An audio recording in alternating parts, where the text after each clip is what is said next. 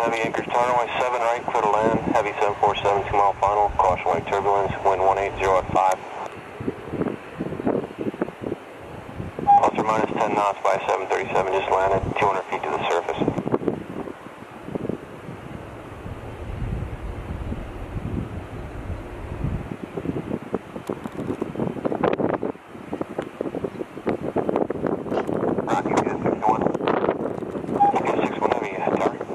I'm the we're dealing with. I see FedEx got the beacon off. They call for push. If there's no room, uh, we can move somewhere if we need to. Just let us know.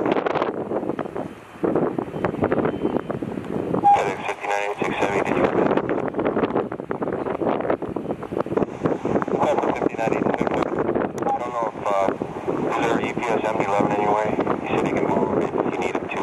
He's got a maintenance issue. Oh, gotcha. Yeah, that's, uh, we were just talking to our ground crew about that side.